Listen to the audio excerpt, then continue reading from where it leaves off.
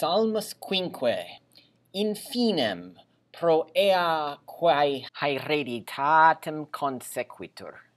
Psalmus David Verba mea auribus percipe Domine intellige clamorem meum intende voci orationis meae rex meus et deus meus. Quoniam ad te. O rabo domine. Mane exaudies vocem meam. Mane ad stabo tibi? Et videbo quoniam non deus volens iniquitatem tues neque habitabit juxta te malignus neque permanebunt injusti ante oculos tuos. Odisti omnes qui operantur iniquitatem.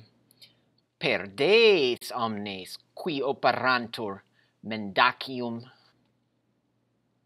Virum sanguinum et dolosum abominabitur dominus ego autem in multitudine misericordiae tuae introibo in domum tuum.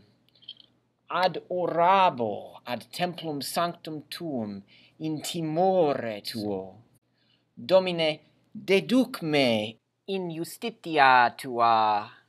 Propter inimicos meos dirige in conspectu tuo viam meam quoniam non est in ore eorum veritas. Cor eorum vanum est. Castiga eos deus decidant a cogitationibus suis.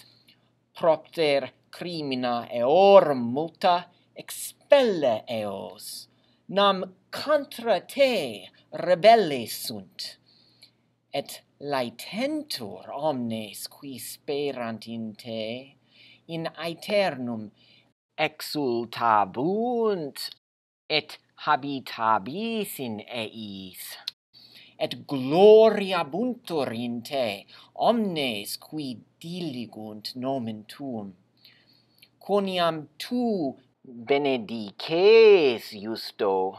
Domine ut scuto bonae voluntatis tuae coronasti nos. Amen.